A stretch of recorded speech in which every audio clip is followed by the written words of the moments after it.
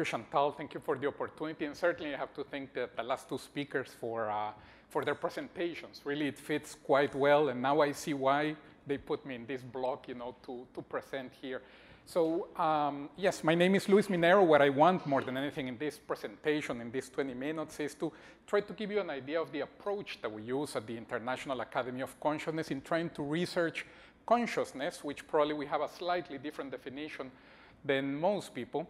But uh, doing this research, you know, from the first, second, and third perspective, meaning from I am a subjective participant participative research. So I am a researcher, but also I can teach somebody else to do it. And at the same time, we do the research, you know, a little bit more at a distance of we are investigating something that is separate from us. Yeah. So I want to try to give you this, this model here, and I'm gonna go through several research initiatives that we have.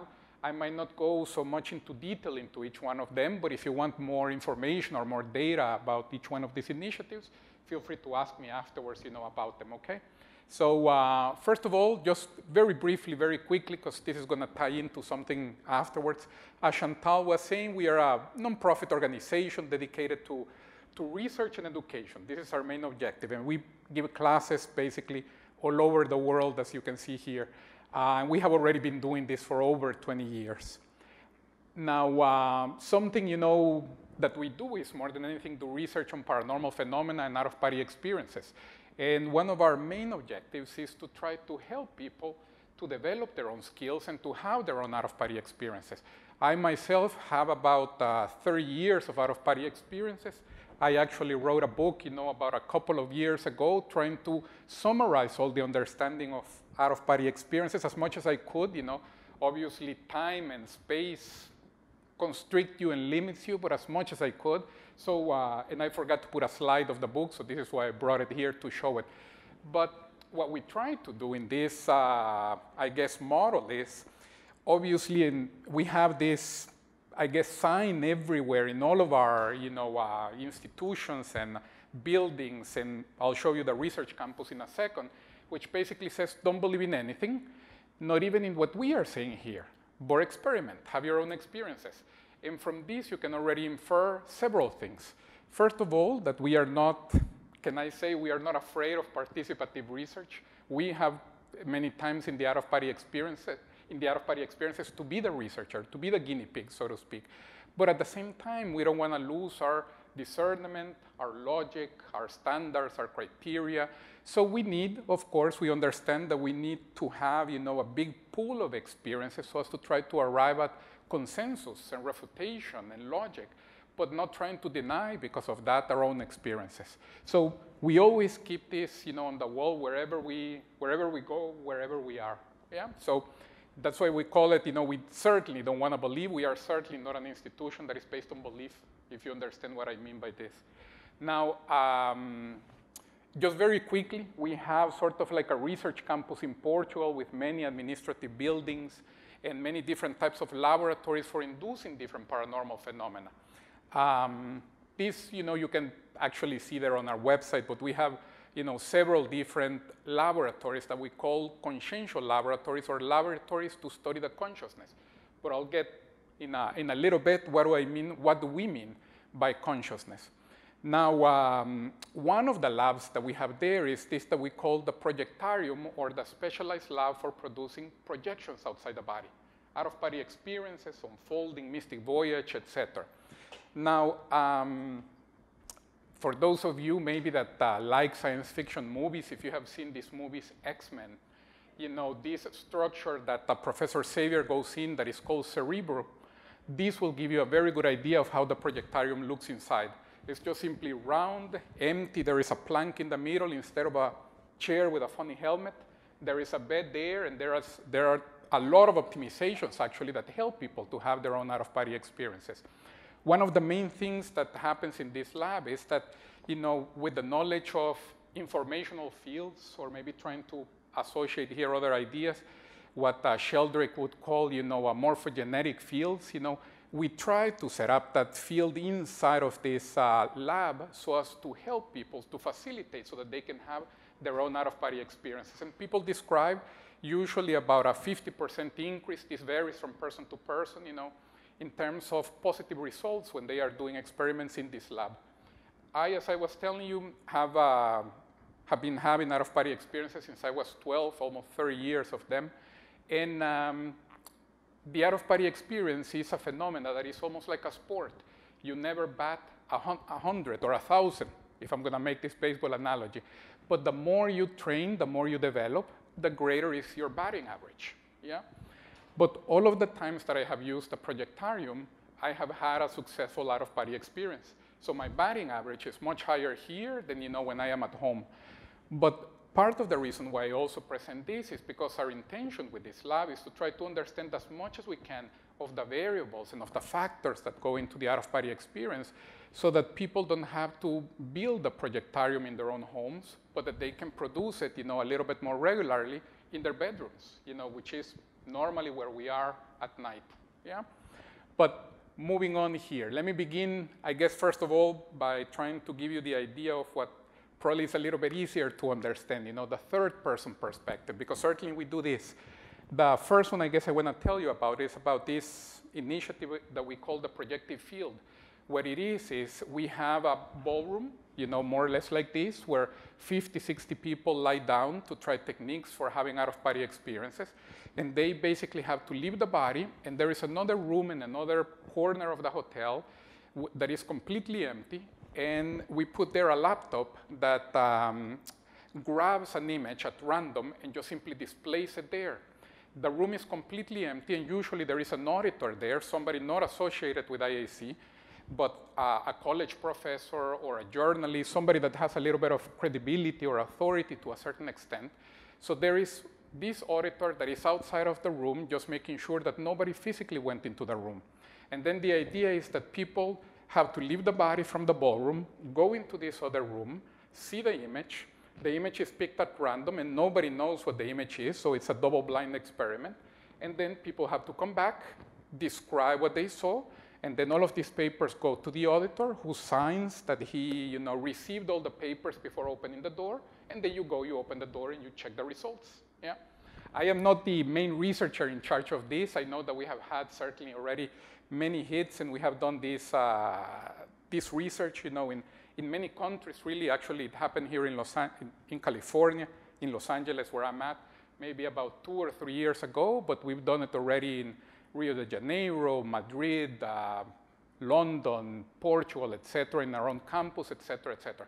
I myself, the last time that we did it, usually I'm part of the staff and uh, I don't have the opportunity to participate in the research, but I had the opportunity that time. I lie down and I was able to see the image correctly in the computer. So that was one of the, I think, two or three times in several times that I have participated in this uh, endeavor that I have I, I, was able, you know, to actually lie down and participate. Now, um, what is interesting about this is that, you know, the participants, they have not seen the images before. So basically the possibility or the probability of hitting the right image, which could be anything, you know, from a picture of a pointer to a cartoon character to Goofy to a landscape in Hawaii, etc. Really the possibilities of just simply guessing it, you know, are you know, very hard to compute and basically limitless to a certain extent. So we certainly have already done this quite a bit, and there is a, a paper that is upcoming, you know, that is going to present all of this uh, research. Now, the second here is the bioenergy effects on uh, functional MRIs, which uh, basically what, uh, th there is this technique, let me see if I can advance this here. There is this technique that helps a lot for developing, I'm gonna go back in a second, for developing the ability to have out-of-body experiences, but also for training this energetic, energetic or etheric body. That uh, we call it, you know, the velo to reach the vibrational state.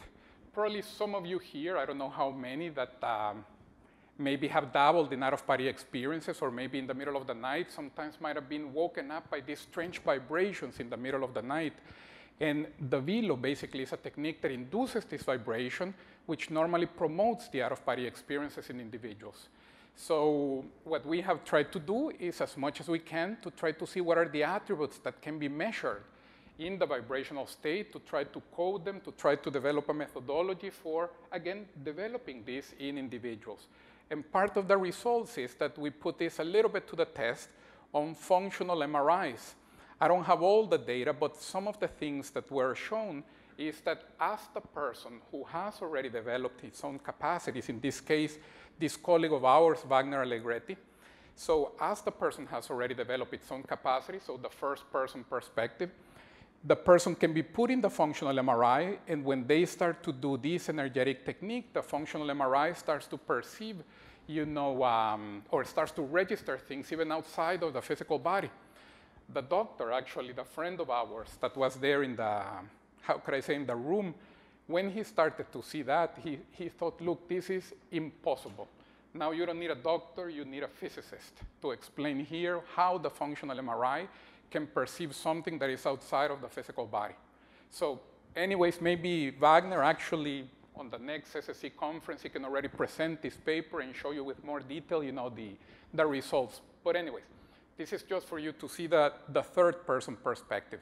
Now, going into the second and the first person perspective, as I was saying, one of the things that we try to do the, the best we can is actually to develop techniques, to develop not just energetic techniques, but also techniques for having out-of-body experiences and teaching these to people. And we have had uh, a lot of success. In my case, I've, I've uh, probably been lecturing and giving classes, you know, for about 20 years all over the world. I had the, the fortune of learning a few languages, so Europe, Australia, South America, uh, Portuguese, et cetera, et cetera, et cetera. So uh, we have already, you know, taught a lot of people how to have the out-of-body experience. So this, again, is something that can be developed. Now, uh, what to a certain extent does this leads us to? Me see if I can cut a little bit. First of all, just trying to understand here what, the, what we see in terms of evidence and in terms of the paradigm. You know, the current conventional paradigm or the leading, I guess, for many people, I know that probably not for most of the people here, is that consciousness is a product of matter and energy. It's to a certain extent a product of the chemistry and the biology. What we see, especially when we have an out-of-body experience, is that consciousness seems to be a completely separate entity that can affect, you know, matter and energy. And um, I don't know how many of you, so let me see if I can talk here a little bit more about the OBEs and maybe even put this a little bit to the test, you know, in terms of us trying to embrace a little bit the idea of, let me see if I can go back, the idea of diving into the subjective and um, really, what am I gonna say, really trying to embrace the participative research and us being part of the, of the guinea pigs. I don't know how many people here maybe have already had that of party experiences. I know maybe for many people here, probably this sounds how could I say, out of this world, you know, what is happening here, what, what is occurring, you know, what type of a presentation is this? What happens, of course, is the following. I know all the conventional theories, and later on, if you, if you wish, you can ask me about conventional theories on trying to explain out-of-body experiences because of lack of oxygen, A, B, C, D. The thing is that it's very different when you have it. One thing is, you know, when you're just simply reading something theoretically, Another thing is when you are actually having the experience and you realize this has nothing to do with lack of oxygen. This has nothing to do with ABCD. And when you have a conscious, fully aware out-of-body experience, you are outside your body, aware with all of your reasoning, with all of your memories, with all of your consciousness, with all of your logic. You remember everything that you studied in school without any problem. Even this is a very different condition from dreams. Uh, something that I many times, uh, or even lucid dreams, many times I put as a difference is, you know, how many times in dreams have we remembered, for example, our phone number or our address. And outside the body, you can do this. You certainly remember everything. You remember whether you skipped dinner or not. So you are completely you. But again, the interesting thing, and part, I guess, of what I am trying to help us all here to think is, one thing is the theory that is out there. Another thing is the moment that we experience that, because that completely changes our paradigm. So to a certain extent, you know, trying to think about uh, what would happen if we experienced a near-death experience or an out-of-body experience. How would that shift or change our perspective? Because notice how it's interesting to analyze something that is external to us. certainly is very interesting. But besides that, it's interesting to consider what would happen if this happens to me.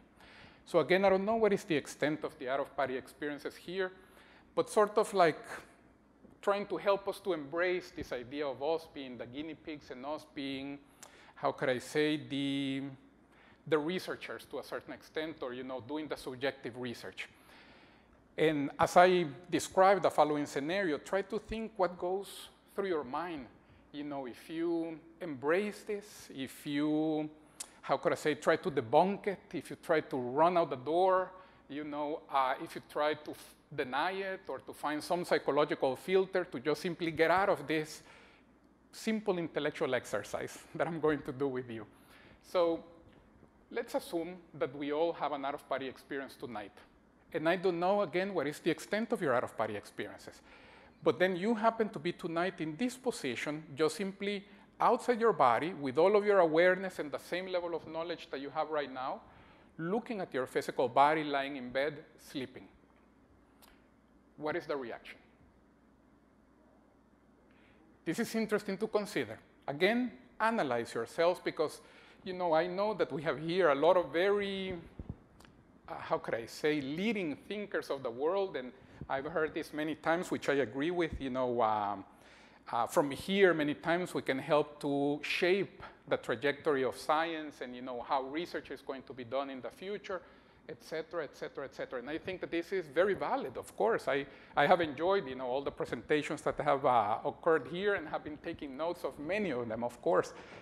But then we can also start to consider this condition because depending of the, how could I say, the filter that we put in these ideas, this is going to limit or expand the embracing of participative research.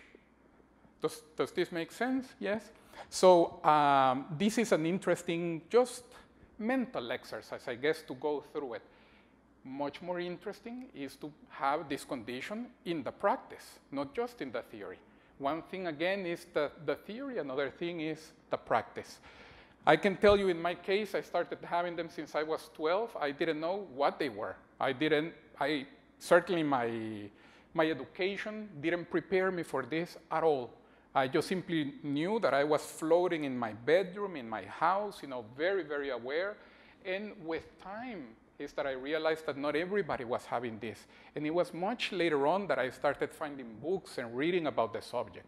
So it had nothing to do with how could I say, having had an influence, you know, an external influence from this. And like this, I know, you know, hundreds of people in this situation. So, um, you know, again, the, the condition of these different types of, of uh, models for approaching, you know, and studying here the consciousness. Now, let me see if there was something else I wanted to mention here. Of course, the projection of the consciousness or the out-of-body experience has been known by many names, and just to help you to associate some ideas here, the most common one is the spontaneous one, when the person in the middle of the night just regains its awareness and is floating there close to the ceiling or close to where the person sleeps, like you know, the other picture that you saw there. There is also the forced out-of-body experience, which is where the near-death experience mainly fits. So the person clinically dies for a few minutes, and then in many cases of near-death experiences, the person finds itself, you know, outside the body, going through a tunnel, meeting deceased relatives, et cetera, et cetera, et cetera. Something, by the way, that we observe as well. Afterwards, you know, I, I knew that I wasn't going to have more, more time, but afterwards, feel free to ask me about my experiences, because I have had many of them, indeed. And, um, and as well, you know, the one that we're trying to hopefully start to make a little bit more common is the one where people are able to provoke that at will. Certainly this one as well. Now, Notice that in talking about the out-of-body experiences, something that Chantal was mentioning here at the beginning, I am a chemist. So my background is certainly in conventional science, even though, by the way, I don't know if Mr. Sky Nelson is still around, but, you know, it took me a, quite an effort to try to follow your lecture, you know, because these were things that I had, hadn't revisited in a while, but I did understand it, okay? It almost seemed like having a recollection of a past life simply because I had studied those things, you know, a while ago in college, but still I followed it. But what I'm trying to say here is that just because we have these experiences and we're able to produce them, it doesn't necessarily mean that we need to lose, again, our logic or our reasoning. So we don't necessarily need to be afraid of the, you know, these types of experiences. Part of what is interesting is that sometimes, you know, um, I've seen certain people that have this type of, um, of a thought or of a, be- or of a behavior to a certain extent. Probably it's not the case of any one of you here, but it's almost like let's embrace participative research. So let me study your participative research, not mine. But to a certain extent, to embrace subjective participative research, we also have to be able to see ourselves as the guinea pigs. You, you understand what I mean? So this is, uh, you know, part of it. Now, um, there are many benefits to the out-of-body experience. I wish I had here, you know, an entire hour to describe them. Many of them, of course, are uh, benefits that you also see with people who have near-death experiences. The, um, you know, losing the fear of death, understanding better what they should do with their life, um, you know, assistance to others, certainly, sometimes recollections of past lives while we are in an out-of-body experience. So not just in the physical condition, but also while we are in an out-of-body experience. Access to other dimensions. I wish I had a lot more time to talk about this. It's interesting how in physics, yes, the idea or the theory of other dimensions is accepted. But when you go and you perceive it straight on, somehow it's not accepted. You, see a little bit there the, the condition. Now, there is uh, there just one more thing. I knew I was going to be pressed with time. There is one thing about the out-of-body experiences. We can leave the body, and when we are in the physical body, and, sorry, when we are in the physical reality, there are different types of experiments that can be set up to provide evidence, hard evidence, that you are having an out-of-body experience. But one idea that I wanted to leave you with is when you have out-of-body experiences, you rarely want to stay in the physical reality. You want to go to several other different planes of existences, and for those, simply, there is no physical proof that you can provide of non-physical realities. So the methodology certainly has to be different. Yeah. So and those are certainly the most interesting by far. Yeah. So thank you.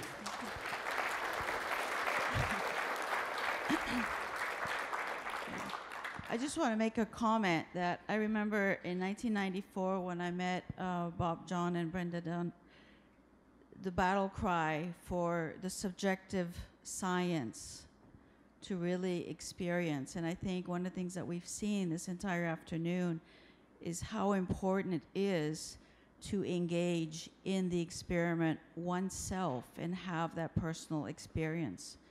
Um, so um, thank you, Luis. We have one question Thank you. here. Yes. Yes, please. Over there, question over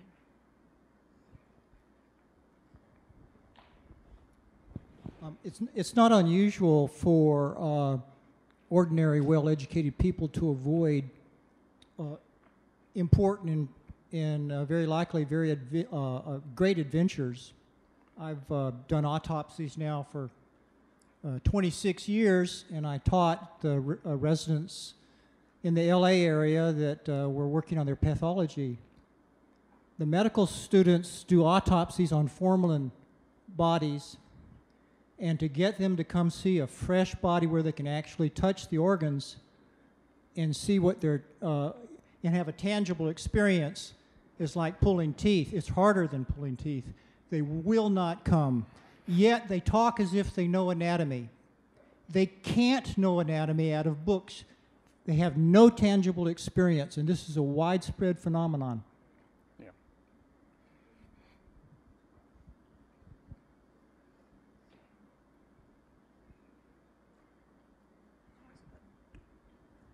Hi, Luis. Hi. Oh, hi. Um, I know time's limited, but would you be willing to describe one of your more memorable out-of-body experiences? Yes, sure, of course. And you know, um, one that uh, many times I, li- I like to tell just because it's easier for people to relate and to understand, but also there is verification of it, was one that happened with me about 15 years ago. My, I was living in Miami, Florida at that time, and my older sister lived in Atlanta, Georgia, and she was starting to participate in the classes that we give of uh, development of this skill. And I wanted sort of like to try to see if I could show her how this worked. And because we have a very personal connection, this doesn't work just with, with anybody, uh, any other participant or any other student. I was able that specific night that she had taken the first weekend of uh, training. I was able to leave my body, go to her place in Atlanta, and I was able to take her outside her body. And then she was already like predisposed because of that. We have what is called a joint projection, which by the way is interesting because you see how the experience is no longer just subjective, because both people can come back, remember it, and then they can talk about it. And if we are, you know, the skeptical research, we can go and, you know, take the account of one and then go and confirm with the other one. So we, it starts to lose its fully subjective character. But anyways, we flew over Atlanta, over Georgia for several minutes actually. And I was uh, trying to, to ask her, because it was more than anything her experience, you know, what is it that you want to do? Where is it that you want to go? And something interesting also that caught my attention is how we have our mindset completely connected in the physical reality. Because she had, um, had somebody who had arrived at her place and had uh, replaced the carpet a few days, bef- days before, and probably was one of these individuals that doesn't have papers and had done a bad job and she hadn't been able to communicate with him. So the first thing that popped into her mind is, I need to go find the, you know, the carpet layer.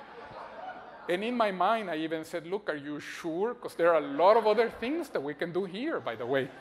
But she was, no, yes, because, and now she was already in the, in the track of thinking of uh, the complaint to a certain extent. Yes, because he, you know, still owes me this money and he has to do this. And I was like, okay, let's just go.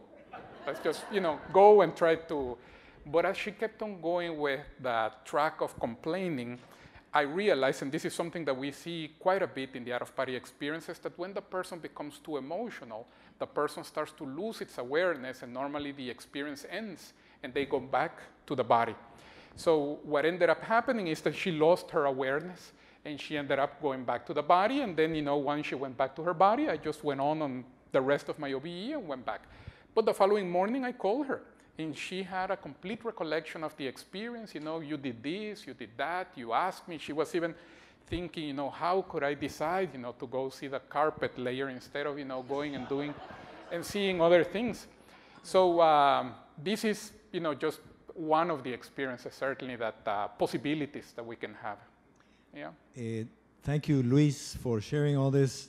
I'm dying to know, have you been brain mapped, fMRI, MEG'd, EEG'd? Me, no. No? No, I, I haven't. No, I certainly will be more than willing. There, there is no you know, problem, but I can tell you several of my colleagues have. It's just because my area and my research sometimes is on other things, but I wouldn't be averse to that. A scientific match made in heaven, right here in the last hour. We have time for one more question. Right. in the uh, in the dream work community, we many times have shared mutual lucid dreams, and that sounds very much to what you're talking about when you're using the out of body terminology, and it can be very difficult to call it an OBE when you come into it from a lucid dream point of view. But does it really matter what we call it? Yes, but, uh, but I actually, when I was listening to your presentation, some of the experiences that you mentioned, I started thinking maybe some of those are a little bit more out of body experiences. Something that we, that we see is that when you are outside the body and outside to a certain extent, let me see if I can explain, explain it in this fashion. When we are outside the, the restriction of the physical body, we are more psychic. So the precognition works a lot better also when we're dreaming because of that and when we are a little bit disconnected. So I'm I would be inclined to say that probably in several of your experiences, you were probably disconnected from the body, and that's why they work uh, so well, you know, as, as far as what you were presenting. So it gave me certainly the same impression. Yeah. Let's give Lewis a really big hand of applause. Um,